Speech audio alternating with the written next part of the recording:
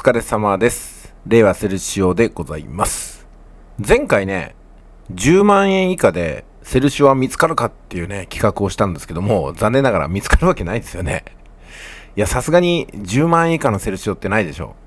でも、毎月8000円で買えるセルシオってのはあったんで、ちょっとね、びっくりですね。しかも、かなり程度のいいやつでした。うん。毎月8000円でセルシオが買えるってなんかスマホの料金より安い、そんな世界になってますけども、まあ、保険とかね、駐車場代とか維持費考えたら、結局、車代価格が10万だろうが、20万だろうが、毎月ね、5万とか10万とかボンボンかかってきますからね。そっちの方が大事なんでしょうね。うん。まあ、軽自動車は初期費用が安い、あ、高いか。今高いんですよね。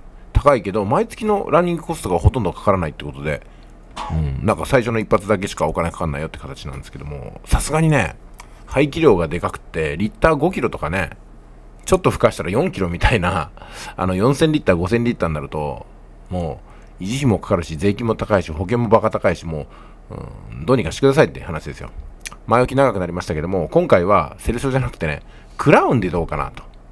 このようにね、クラウン、黒、中古車10万で検索したら、なんかありそうなんで、こちらの方をぐーっと絞ってね。はい。すごいですよ。30万円以下でもありそうですよ。30万円以下、25万円以下でやってみましょうか。1台やりました。さすがに10万ってのはないのかもしれませんけども、25万のね、ロイヤルサルーンか。2.5リッター。毎月7400円で買えますよ、これ。どうですか？高校生のお小遣いって言ったら、7400円のお小遣いもらってる高校生はちょっとね、もらってる方だと思いますけども。いや、それでもね、ちょっと夏休みのバイトで買おうかっていう金額ですよ、これ。うん。あ、ホイールがいいやつ入ってますね。うん。これなかなか黒でかっこいいんじゃないですか？走行が11万キロなんで、あと30万キロはヘッチロで走ると思いますよ。ただまあ、維持費がね、かなり関わりますので、うん、そこが問題でしょうね。ガソリンだってね、満タンにすりゃ1万円切らない金額じゃないですか。この辺になってくると。したら走るのやめようかって話になりますよ、もう。だって、毎月の車載価格のローンが7400円なのに、ガソリン代はね、3万ぐらいかかるわけでしょ。何を払ってんだって話じゃないですか、もう。まあでも、車はなかなかいいっすね。うん。この辺もね、グッと見栄えがする。あ後部シートもかなり広いですね、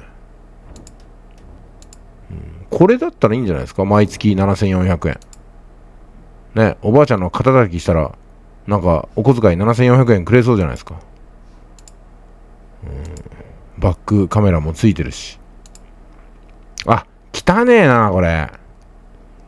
これは、いらないな。ちょっとね、安いクラウンなんですけども、うーん、うーん、これはいただけないですね。ホイールを買い替えるお金はもうすでにないですから。うん、ちょっとこれはパスしましょうか。というオチになりました。ありがとうございました。